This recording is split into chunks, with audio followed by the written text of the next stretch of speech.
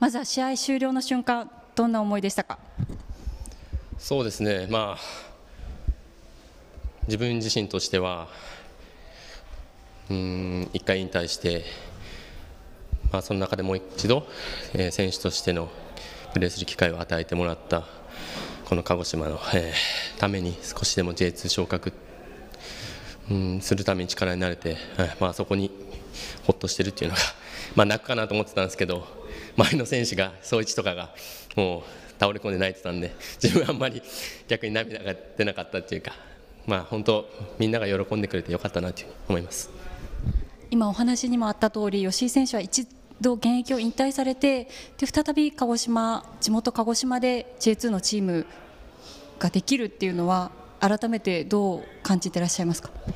そうですね。まずは、えーまあ、引退したなしにしても地元のこのクラブにクラブで、えー、鹿児島という地で、えー、J2 という、えーうん、ところまで行けたってことが本当に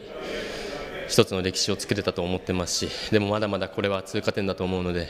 えー、もっともっと自分たちも頑張らないといけないですし、えー、そのためにはまだまだ、えー、県民の方々だったり行政の方々だったりという力サポートが必要になってくると思うので、え、本当にこれからもっともっと鹿児島選手とかクラブだけじゃなくて県民みんなで、えー、このクラブを大きくしていってほしいなというふうに思います。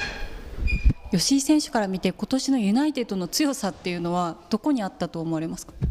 まあ、一番は、えー、選手が本当に一丸となって一体感があったというところに尽きると思います、えー、どんな時でも苦しい時でも、えー、何があっても選手間というのは、えー、心が離れることはなかったですし、えー、出てる選手だけじゃなくて、えー、サブの選手またメンバー外の選手というのが本当に自分の役割というのを、えー、しっかり把握して、えー、本当にチームが勝つために毎試合毎試合やっていってこれた成果が、えー、本当この J2 昇格につながったと思うので本当に今年のチームっていうのは、えー、まとまりがあったと思います。ありがとうございました